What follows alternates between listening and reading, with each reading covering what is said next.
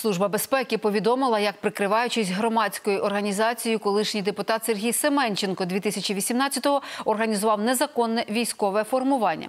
Сюди завербували понад 150 людей, колишніх військових та правоохоронців, та озброювали їх вогнепальною зброєю. Разом із Семенченком головним виконавцем Служба безпеки називає позаштатного радника НАБУ Євгена Шевченка, який постачав зброю та боєприпаси. Готували бойовиків на спецбазі під Києвом. Служба безпеки продемонструвала аудіо та відео докази того, як Семенченко пропонував постачати зброю представникам країн Близького Сходу, а також контрабандою завозив в Україну з Росії військові запчастини і товари подвійного призначення. І в десятеро дорожче продавали підприємствам Укроборонпрому. У підозрюваних вилучили протитанкові гранатомети, гранатомети, ручниці і автомати.